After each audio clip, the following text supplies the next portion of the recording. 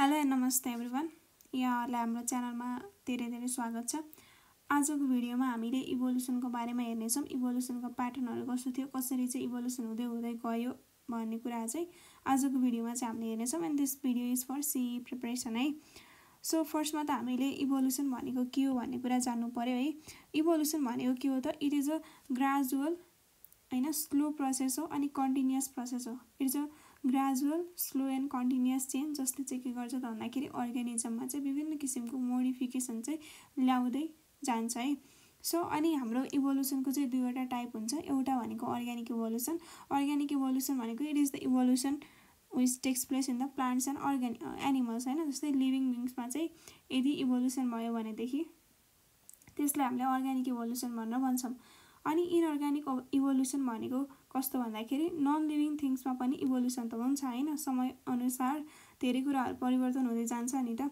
अनि त्यसलाई चाहिँ हामीले इनअर्ग्यानिक इभोल्युसन भनेर भन्छौँ। अनि यहाँनिर जाउँ हामी इभोल्युसनको प्याटर्नतर्फ होइन फर्स्टमा चाहिँ हाम्रो के छ? डाइभर्जेन्ट इभोल्युसन छ। डाइभर्जेन्ट इभोल्युसनलाई एडाप्टिभ रेडिएसन भनेर पनि भनिन्छ। किनभने यहाँनिर चाहिँ कुनै पनि एउटा स्ट्रक्चर होइन अर्ग्यानिजमको चाहिँ के हुन्छ भन्दाखेरि तिनीहरूको सेम एन्सेस्टर हुन्छ। द्याट मिन्स उनीहरूको चाहिँ पहिला तिनीहरू केबाट आयो भन्ने कुरा चाहिँ सिमिलर हुन्छ होइन। तर यिनीहरूको स्ट्रक्चर र ओरिजिन पनि सिमिलर हुन्छ। तर पनि फङ्सन चाहिँ डिफ्रेन्ट हुन्छ किनभने यिनीहरू चाहिँ त्यो डिफ्रेन्ट इन्भाइरोमेन्टमा एडाप्ट एडाप्टेसनमा गइसकेपछि त्यही इन्भाइरोमेन्टमा एडाप्ट गर्नको लागि चाहिँ यिनीहरूमा डिफ्रेन्ट डिफ्रेन्ट कुराहरूको चाहिँ त्यहाँनिर डेभलपमेन्ट भएको हुन्छ क्या। अब सेम एन्सेस्टर भयो सिमिलर स्ट्रक्चर ओरिजिन भए तापनि फङ्सन चाहिँ डिफ्रेन्ट भयो because of because of the radiation in different environment यिनीहरूलाई डिफ्रेन्ट इन्भाइरोमेन्टमा एडाप्टेसन गर्नको लागि चाहिँ डिफ्रेन्ट मोडिफिकेसन ल्याउनु पऱ्यो नि त। त्यसलाई चाहिँ हामीले डाइभर्जेन्ट इभोल्युसन भन्छ अनि यसलाई चाहिँ एडाप्टिभ रेडिएसन पनि भन्छ बिकज एडाप्टेसनको लागि चाहिँ यिनीहरू अब रेडिएट हुँदै गयो क्या डिफ्रेन्ट ठाउँमा रेडिएट हुँदाखेरि यिनीहरूमा एडाप्टेसनल क्यारेक्टरिस्टिक्स पनि डिफ्रेन्ट डिफ्रेन्ट ओरिजिन भयो। अब यहाँनिर इक्जाम्पल चाहिँ डार्विन फिन्चेस रहेको छ होइन? डार्विन चाहिँ डार्विनको फिन्चेस भनेको यो चाहिँ बर्ड्सहरू हो। अनि यिनीहरूको चाहिँ एन्सेस्टर चाहिँ एउटै देखियो होइन तर यिनीहरू चाहिँ डिफ्रेन्ट डिफ्रेन्ट जस्तै क्लाइमेटिक कन्डिसन हो र यस्तो कुराहरूमा चाहिँ फरक ठाउँमा रहेको कारणले गर्दाखेरि चाहिँ त्यही ठाउँमा एडाप्टेसन हुनुको लागि चाहिँ यिनीहरूमा डिफ्रेन्ट क्यारेक्टरको चाहिँ मोडिफिकेसन भयो जस्तै कसैमा बिकहरूको राम्रोसँग अर्कै तरिकाले डेभलपमेन्ट भयो होइन। त्यसै अनुसार चाहिँ त्यसलाई डाइभर्जेन्ट इभोल्युसन भनेर भनेको। अनि अर्को छ कन्भर्जेन्ट इभोल्युसन कन्भर्जेन्ट इभोल्युसनलाई चाहिँ हामीले एडाप्टिभ कन्भर्जेन्स भनेर नि भनिन्छ। यहाँनिर के हुन्छ भन्दाखेरि डिफ्रेन्ट स्पिसिसको अर्ग्यानिजम्स हुन्छ होइन? यिनीहरूको स्ट्रक्चर ओरिजिन पनि फरक हुन्छ तर पनि यिनीहरू एउटै इन्भाइरोमेन्टमा एडाप्टेसन भएको कारणले गर्दाखेरि चाहिँ त्यसको फङ्सन चाहिँ सेम हुन्छ कि? जस्तै यहाँनिर चाहिँ gills of fish and gills of crustaceans दिएको छ होइन? अब फिस भनेको डिफ्रेन्ट स्पिसिसको भयो क्रोस्टासियन्स भनेको डिफ्रेन्ट स्पिसिसको भयो तर यिनीहरू दुईवटै पानीमा पानीमा चाहिँ बस्ने भएको कारणले गर्दाखेरि चाहिँ यिनीहरूको गिल्सको फङ्सन चाहिँ त्यहाँनिर एउटै हुन गयो होइन? अनि त्यसै गरी विङ्स अफ इन्सेक्ट बर्ड र ब्याट छ। अब इन्सेक्ट भनेको त एर्थोपोडामा पर्छ होइन? अनि बर्ड भनेको एप्समा पऱ्यो ब्याट भनेको त म्यामलमा पऱ्यो तर पनि यिनीहरूको विङ्सको डिफ्रेन्ट डिफ्रेन्ट ओरिजिन भए तापनि के भयो त भन्दाखेरि सबैको विङ्स चाहिँ केमा युज हुन्छ त त्यहाँ उड्नमा युज हुन्छ होइन? फ्लाइङको लागि युज हुन्छ। त्यही भएर यसलाई हामीले कन्भर्जिन कन्भर्जेन्ट इभोल्युसन भनेको यसलाई एडाप्टिभ कन्भर्जेन्स भनेर भनिएको। अनि हाम्रो तेस्रो रहेको छ प्रोग्रेसिभ इभोल्युसन प्रोग्रेसिभ भनेको कस्तो भन्दाखेरि सिम्पल अर्ग्यानिजमबाट चाहिँ मोडिफिकेसन हुँदै हुँदै हुँदै गएर चाहिँ कम्प्लेक्स अर्ग्यानिजम भन्ने जुन प्रोसेस छ त्यसलाई हामीले प्रोग्रेसिभ इभोल्युसन भन्छौँ। यसको इक्जाम्पल भनेको जस्तै हाम्रो पहिला सुरुमा चाहिँ युनिसेलर अर्ग्यानिजम थियो होइन। अब त्यो सर्टेन मोडिफिकेसन भइसकेपछि चाहिँ के भयो त भन्दाखेरि अहिले त एकदमै धेरै मल्टिसेलर अर्ग्यानिजम्सहरू छ नि त। त्यसलाई प्रोग्रेसिभ इभोल्युसन भनियो। अनि रेट्रोग्रेसिभ इभोल्युसन छ। रेट्रोग्र रेट्रोग्रेसिभ इभोल्युसन भनेको it is opposite to the progressive evolution है। यहाँनिर चाहिँ के भयो भन्दाखेरि कम्प्लेक्स अर्ग्यानिजम चाहिँ सिम्पलर अर्ग्यानिजममा चाहिँ ट्रान्सफर भयो। जस्तै अब एल्गीबाट चाहिँ फेरि फङ्गाईको डेभलपमेन्ट भयो क्या। फङ्गाई भनेको अलिकति प्रिमिटिभ मानिन्छ होइन एल्गी एल्गीको तुलनामा चाहिँ। अनि यसलाई चाहिँ हामीले रेट्रोग्रेसिभ इभोल्युसन भनेर भनियो। अनि नेक्स्ट भनेको प्यारल इभोल्युसन छ होइन। अब दुईवटा अर्ग्यानिजमहरूले चाहिँ के गर्यो त भन्दाखेरि इन्डिपेन्डेन्टली चाहिँ सिमिलर क्यारेक्टर चाहिँ एक्वायर गऱ्यो भने त्यसलाई चाहिँ हामीले प्यारल इभोल्युसन भनिन्छ। सँगसँगै चाहिँ फेरि तर इन्डिपेन्डेन्टली छ होइन। जस्तै running habit and deer and horse होइन। अब डियर पनि रन गर्छ होइन? हर्स पनि रन गर्छ तर यिनीहरू चाहिँ अलिकति डिफ्रेन्ट भयो नि त। यिनीहरूको त्यो रनिङ हेबिटमा चाहिँ के भयो? यिनीहरूको खुट्टाहरू लिम्सहरू चाहिँ एकै अनुसार चाहिँ त्यहाँनिर डेभलप हुँदै गयो। त्यसलाई चाहिँ हामीले प्यारल इभोल्युसन भनेर भनिन्छ होइन?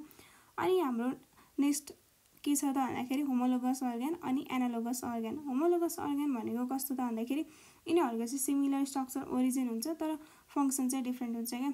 यसले चाहिँ केलाई हेल्प गर्छ भन्दाखेरि केलाई हेल्प गर्छ भन्दा पनि केलाई सपोर्ट गर्छ एड्याप्टिभ रेडिएसनलाई सपोर्ट गर्छ। एड्याप्टिभ रेडिएसनमा के थियो? सिमिलर स्ट्रक्चर ओरिजिन थियो होइन? तर डिफ्रेन्ट इन्भाइरोमेन्टमा गएको कारणले गर्दाखेरि क्लाइमेट अनुसार यिनीहरूमा चाहिँ डिफ्रेन्ट फङ्सन आउन पुग्यो। अनि होमोलोगस अर्ग्यान भनेको पनि सेम नै हो होइन? जस्तै limbs of frog bird bat human etcetera सबैमा त लिम्सहरू छ होइन? तर फ्रगको लिम चाहिँ केमा युज हुन्छ भन्दाखेरि यो चाहिँ जम्पिङ स्विमिङमा युज हुन्छ बर्ड भनेको फ्लाइङमा युज हुन्छ ब्याट भनेको त्यस्तै फ्लाइङमा भयो ह्युमनको चाहिँ फेरि फोर लिम्सहरू चाहिँ ग्रास्पिङ त्यो त्यो कुराहरूमा चाहिँ युज भयो क्या। स्ट्रक्चर एउटै छ ओरिजिन एउटै छ होइन? तर फङ्सन चाहिँ डिफ्रेन्ट भयो भनेदेखि त्यसलाई हामीले होमोलोगस अर्ग्यान भन्नु पर्यो अनि एनालोगस अर्ग्यान रहेको छ। एनालोगस अर्ग्यान भनेको यिनीहरूको चाहिँ के भयो भन्दाखेरि डिफ्रेन्ट स्ट्रक्चर ओरिजिन छ तर पनि सिमिलर फङ्सन अपियरेन्स छ। यसले चाहिँ के गर्यो एडाप्टिभ कन्भर्जेन्सलाई चाहिँ के गर्यो सपोर्ट गर्यो है। जस्तै विङ्स अफ बर्ड्स ब्याट अनि इन्सेक्ट अब बर्ड्सको विङ्स ब्याटको अनि इन्सेक्टको ओरिजिन त डिफ्रेन्ट हो नि त। अनि यिनीहरूको अब स्पिसिसहरू पनि डिफ्रेन्ट हो। तर पनि यिनीहरूको चाहिँ फङ्सन अपियरेन्स भने एउटै छ होइन? बर्ड्सको पनि फ्लाइङ गर्नमा हेल्प गर्छ ब्याटको पनि त्यही भयो अनि इन्सेक्टको पनि त्यही भयो। त्यस्तो त्यस्तो अर्ग्यान्सहरूलाई चाहिँ के भन्यो भन्दाखेरि एनालोज अर्ग्यान होइन? जसको चाहिँ के भयो? फङ्सन चाहिँ सिमिलर भयो तर स्ट्रक्चर र ओरिजिन भने चाहिँ डिफ्रेन्ट भयो। अनि अब चाहिँ हामी भेस्टिजियल अर्ग्यानमा भेस्टिजियल अर्ग्यान भनेको कस्तो भन्दाखेरि हाम्रो जुन पूर्वज एन्सेस्टरहरू छ नि उहाँहरूमा चाहिँ हाम्रो त्यो भेस्टिजियल अर्ग्यान चाहिँ के थियो? फङ्सनल थियो राम्रोसँग काम गर्थ्यो।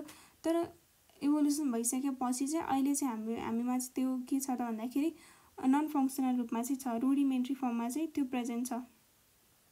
Was functional in the ancestors but प्रेजेन्टमा चाहिँ के छ भन्दाखेरि त्यो चाहिँ रुडिमेन्ट्री फर्ममा चाहिँ प्रेजेन्ट छ होइन? त्यो चाहिँ फङ्सनल छैन त्यस्तो अर्ग्यानलाई चाहिँ हामीले भेस्टिजियल अर्ग्यान भनेर भनिन्छ जस्तै भर्मिफर्म एपेन्डिक्स होइन? भर्मिफर्म एपेन्डिक्सको चाहिँ मेन काम भनेको सेलुलोज डाइजेसन हो कि पहिला पहिलाको अब हाम्रो सायद पूर्वजहरू चाहिँ के हुनुहुन्थ्यो भन्दाखेरि हर्बिभोरस हुनुहुन्थ्यो होला उहाँहरूलाई चाहिँ सेलुलोज डाइजेसन गर्नको लागि चाहिँ चाहिन्थ्यो होइन? तर पछि चाहिँ अब हाम्रो हाम्रो बडीमा चाहिँ के छ भन्दाखेरि भर्मिफोम एपेन्डिक्स भनेको इट इज भेस्टिजियल अनि त्यसै गरी निक्टिटेटिङ मेम्ब्रेन जसलाई हामीले प्लिका सेमी लुनारिस भनेर भन्छौँ होइन? निक्टिटेटिङ मेम्ब्रेन फ्रकमा हामीले पढाएको थियौँ त फ्रकको आइलाई चाहिँ प्रोटेक्ट गर्न चाहिँ बाहिर के हुन्छ? निक्टिटेटिङ मेम्ब्रेन हुन्छ। तर हाम्रो म्यामलमा चाहिँ अथवा हामी म्यामलमा भन्दा पनि हामी ह्युमनमा चाहिँ के छ भन्दाखेरि यो चाहिँ भेस्टिजियल अर्गनको रूपमा छ। यसको फङ्सनल फङ्सन पनि केही छैन। एकदमै सानो रूपमा चाहिँ त्यहाँनिर रहेको छ। अनि त्यसै गरी यो विस्डम टिथ हाम्रो बुद्धि बङ्गारहरू छ नि यो पनि के हो त भन्दाखेरि these are also the vestigial organs है। अब पाइथनमा चाहिँ के छ भन्दाखेरि अब पहिलाको अवस्थामा अथवा पहिलाको इन्भाइरोमेन्टमा चाहिँ उसलाई चाहिँ हिँड्दाखेरि चाहिँ सायद हाइन्ड लिम्सहरूको चाहिन्थ्यो होला होइन।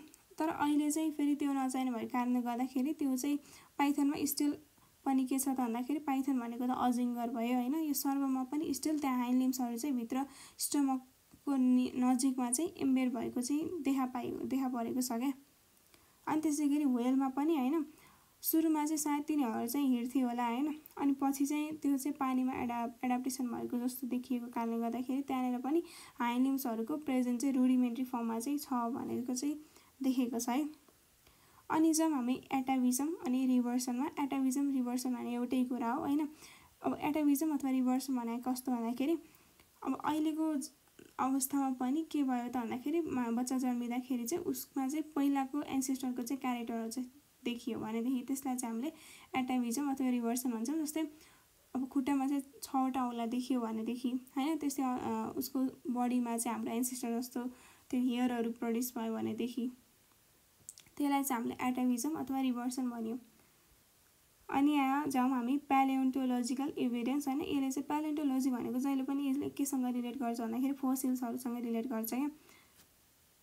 यसबाट चाहिँ हामीले प्यालेन्टोलोजीबाट चाहिँ के पायो त भन्दाखेरि यो इभोल्युसनको चाहिँ टन्नै इभिडेन्सहरू पायौँ किनभनेदेखि चाहिँ फोसिल्सहरूमा चाहिँ पहिला पहिलाको अर्ग्यानिजमहरूको रेमनेन्ट्सहरू चाहिँ सेभ भएर बसेको हुन्छ जसलाई चाहिँ हामीले अहिले स्टडी गर्दा तिनीहरूको चाहिँ एज पत्ता लगाउन सकिन्छ तिनीहरूको स्ट्रक्चर कस्तो थियो भन्ने कुरा पत्ता लगाउन सकिन्छ। यो चाहिँ अब सबभन्दा बढी इभोल्युसनको चाहिँ के भयो भन्दाखेरि इन्फर्मेसन दिने भनेको प्यालेन्टोलोजीबाट चाहिँ भयो। अनि त्यही भएर फादर प्यालेन्टियोलोजी भनेर चाहिँ हामीले लियोनार्दो दाभिन्सीलाई भन्छौँ। अनि यो चाहिँ मोर रिलायबल हुन्छ मैले भनिसकेँ है। अनि त्यसै गरी हामीले इराहरूको बारेमा पढौँ इरा भनेको अहिले चलिरहेको भनेको सिनोजोइक एरा हो। अनि यो एरा भनेको चाहिँ म्यामलको एरिया इरा हो है। अनि मोस्टली त यहाँनिर अहिले अहिले भनेको त ह्युमनको इरा हो बिकज ह्युमनले नै सबै कुरा डोमिनेट गरिसकेको छ। अनि सेनोजोइक एरियामा इरामा चाहिँ दुईवटा इरा दुईवटा पिरियडहरू छ। फर्स्ट भनेको क्वार्टरनरी पिरियड नेक्स्ट भनेको चाहिँ टर्सियरी पिरियड भयो। क्वार्टरनरी भनेको अहिले चलिरहेको टर्सियरी भनेको गइसक्यो अब योबाट हामीलाई के सोध्छ भन्दाखेरि यो इरामा चाहिँ कुन अर्ग्यानिजम चाहिँ मोस्ट डोमिनेन्ट थियो होइन? त्यो कुराहरू चाहिँ सोध्न सक्छ क्या। त्यही भएर मेजोजोइक एरा छ। मेजोजोइक एरालाई चाहिँ हामीले एरा अफ रेप्टाइल्स भनेर बुझिन्छ। किनभने यहाँनिर रेप्टाइल्सहरू चाहिँ मोस्ट डोमिनेटिङ अर्ग्यानिजम थियो। यिनीहरूको चाहिँ राम्रोसँग डेभलपमेन्ट भएको थियो। अनि त्यसै गरी डाइनोसर्सहरू पनि यहाँनिर यहाँनिर तिनवटा पिरियड छ। जुरासिक ट्रायसिक अनि क्रिटासियस पिरियड होइन? अब डाइनोसर्सहरू चाहिँ ट्रायसिक पिरियडमा चाहिँ ओरिजिनेट भयो त्यसै गरी राम्रोसँग तिनीहरू एक्सट्रिम लेभलको डेभलपमेन्टसँग पनि पुग्यो होइन? तर क्रिटासियस पिरियडमा चाहिँ के भयो भन्दाखेरि तिनीहरूको चाहिँ एक्सटेन्सन भयो। एक्सटेन्सन चाहिँ अब त्यहाँनिरको एक्ज्याक्ट रिजन त थाहा छैन होइन? तर पनि त्यहाँनिर टेम्परेचर चाहिँ अलिकति तिनीहरूले एडाप्टेसन गर्न सक्ने खालको भएन अथवा तिनीहरूलाई खानाको त्यस्तै के कमी भयो जसको कारणले गर्दा जसको कारणले गर्दाखेरि चाहिँ तिनीहरू एक्सिडेन्ट भयो भन्ने कुरा चाहिँ छ। अनि त्योभन्दा पहिला थियो प्यालोजोइक एरा होइन यसमा चाहिँ के भयो भन्दाखेरि कार्बोनिफेरस पिरियडमा चाहिँ यहाँनिर एम्फिबियन्सको चाहिँ डोमिनेट डोमिनेन्सी देखियो। अनि यो पिरियडमा चाहिँ के थियो यो एरामा चाहिँ के थियो भन्दाखेरि फिसेसहरू पनि मोर डोमिनेन्ट थिए। अनि त्योभन्दा पहिलाको दुईवटा एरा चाहिँ के भन्दाखेरि प्रोटेरोजोइक र आर्कियोजोइक। अब यो बेलामा त सिम्पल भर्टिब्रेट्सहरू मात्रै थिए। जस्ट यति नै होइन। पाँचवटा चाहिँ इरा जुन अहिले चलिरहेको त्यसलाई सिरोजोइक एरा भन्यो। मिजोजोइक भनेको यी त्यस्तो एरा अफ रेप्टाइल्स सानेर रेप्टाइल्सहरू चाहिँ मोर डोमिनेन्ट थियो अनि प्यालोजोइक एरा जहाँनिर एम्फिबियन्सहरू मोर डोमिनेन्ट थियो अनि त्यसै गरी प्रोटेरोजोइक र आर्कियोजोइक भनेको पहिला सुरुको एरा थियो होइन। अनि हामीलाई मोस्टली क्वेसन सोध्ने भनेको यो कनेक्टिङ लिङ्क्सबाट चाहिँ जेनरली क्वेसन सोधे हुन्छ होइन। कनेक्टिङ लिङ्क्स भनेको कस्तो भन्दाखेरि दुईवटा चाहिँ जस्तै म्यामल भयो रेप्टाइल भयो होइन। त्यो दुईवटालाई जोड्ने कुनै पनि एउटा अर्ग्यानिजम हुनसक्छ जसमा चाहिँ के हुन्छ त म्यामलको पनि क्यारेक्टर हुन्छ त्यसमा रेप्टाइलको पनि क्यारेक्टर हुन्छ भने त्यसलाई चाहिँ हामीले कनेक्टिङ लिङ्क्स भनेर भन्छौँ जसले चाहिँ दुईवटा डिफ्रेन्ट के फाइलमहरू टाइपलाई चाहिँ के गर्छ भन्दाखेरि जोड्ने काम गर्छ। अब यहाँनिर फर्स्टमा छ आर्कियोप्याट्रिक्स लिथोग्राफी क्या यसले चाहिँ यो चाहिँ के हो त भन्दाखेरि रेप्टाइल्स अनि बर्ड्सको चाहिँ कनेक्टिङ लिङ्क हो है। यसमा चाहिँ के छ रेप्टिलियन क्यारेक्टर पनि छ बर्डको क्यारेक्टर पनि छ। रेप्टिलियन क्यारेक्टर भनेको चाहिँ यसको चाहिँ त्यो बिकभित्र पनि दाँत प्रेजेन्ट छ क्या। अनि त्यसपछि यसमा चाहिँ क्लजहरू प्रेजेन्ट छ।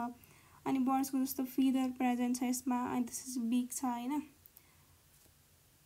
अनि पुच्छरहरू पनि रहेको छ यसमा। त्यही भएर चाहिँ यसले चाहिँ के देखायो त भन्दाखेरि रेप्टाइल र बर्डको बिचमा चाहिँ तिनीहरूको दुवैको क्यारेक्टर चाहिँ एउटै अर्गानिजममा देखियो। अनि अर्को छ अर्निथोरिङ्कस डकबिल प्ला प्लाटिपस पनि भनिन्छ। त्यसै गरी अर्को इकिडना यिनीहरू भनेको चाहिँ are the connecting link between the reptiles and mammals यिनीहरूमा चाहिँ दुवै रेप्टिलियन क्यारेक्टरहरू पनि प्रेजेन्ट थियो त्यसै गरी म्यामिलियन क्यारेक्टर पनि प्रेजेन्ट थियो। अनि नियोप्लिना भन्ने छ यो चाहिँ के हो त? It is the connecting link between the annelida and mollusca annelida र मलस्काको बिचको चाहिँ कनेक्टिङ लिङ्क भनेको न्युप्लिना हो। अनि त्यसपछि डिप्नो है लङ फिस भनेर भनिन्छ यसलाई यो चाहिँ पाइसेस र एम्फिबियाको बिचको चाहिँ कनेक्टिङ लिङ्क हो। अनि त्यसै गरी सेमोरिया छ। सेमोरिया भनेको एम्फिबिया अनि रेप्टाइल्सको चाहिँ कनेक्टिङ लिङ्क हो भनेदेखि चाहिँ पेरी प्याटस भनेको it is the connecting link between the annelida and arthropoda अनि यहाँनिर अर्को कुरा छ। इम्ब्रायोलोजीबाट पनि हामीले इभ इभिडेन्स अफ इभोल्युसन चाहिँ धेरै कुराहरू पायो होइन। अब कुनै पनि जस्तो सुकै अर्ग्यानिजम होस् होइन उसको चाहिँ जुन इम्ब्रायो हुन्छ नि त्यसको चाहिँ स्ट्रक्चर चाहिँ अलमोस्ट होइन मोस्ट अफ द अर्ग्यानिजमको इम्ब्रायोलोजिकल स्ट्रक्चर चाहिँ मिल्न जान्छ क्या।